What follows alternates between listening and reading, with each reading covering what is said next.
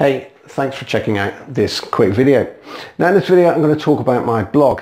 Now many of you know me, many of you have visited my blog um, probably on many occasions.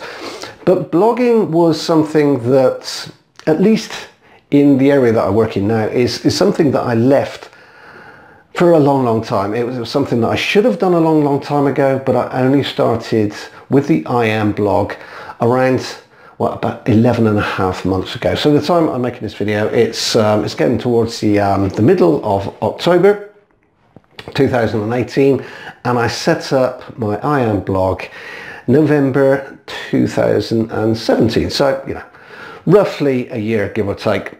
Now in that time, my blog has had 346,000 visits. So, you know, you, you should take something from that. You know, I should have done this a long time ago. And I, and I keep telling people that they should really build blogs.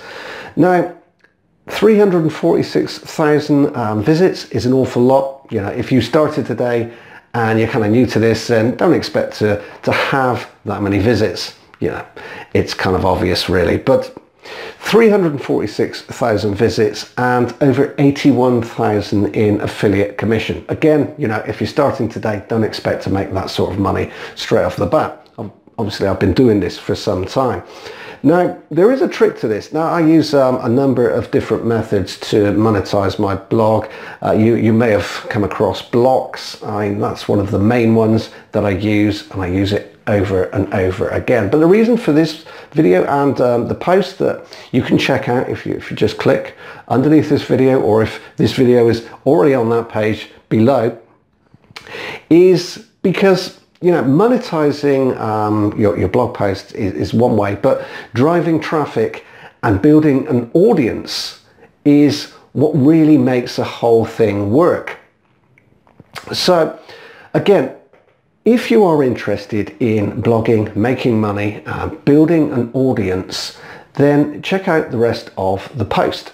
So you'll find the post either by clicking underneath this video or if this video is already on the blog post, then seeing below, okay? Now, I'll quickly touch on this. The, the reason or the way I've been able to drive as many visits as I have is because as soon as I started with the IM blog, I realized that rather than just having blog, I should be connecting different elements. So kind of joining the dots, if you like. And this is essentially what I've done.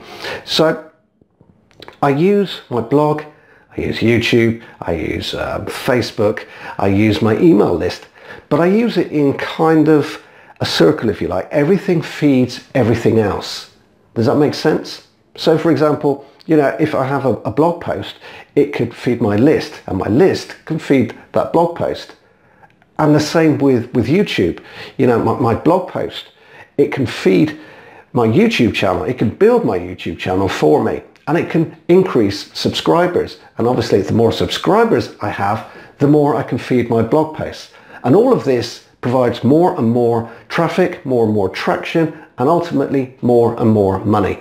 Anyway, check out the post, see if this is something that interests you, click the link under this video or if this video is on that page, then read below.